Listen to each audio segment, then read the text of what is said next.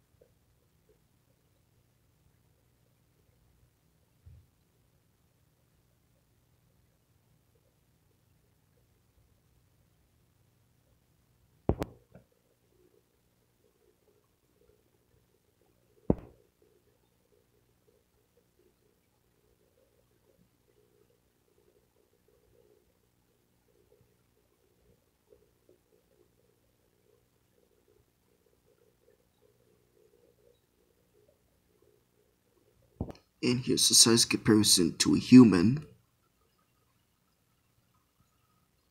And you know, who would have thought our early hominid ancestors had natural predators like crocodilians? Imagine if this one didn't go extinct. Cause, cause that'll be one reason to stay away from the rivers and waters.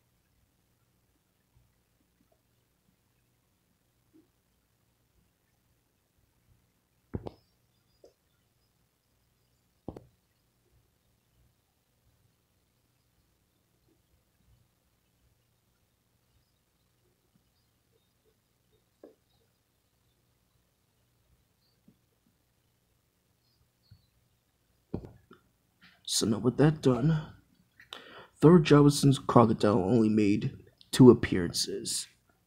So let's start from the beginning. Thorbjarnarson's crocodile made its first appearance in Walking with Caveman, 2003. Ancestors, The Humankind Odyssey, Thorbjarnarson's crocodile.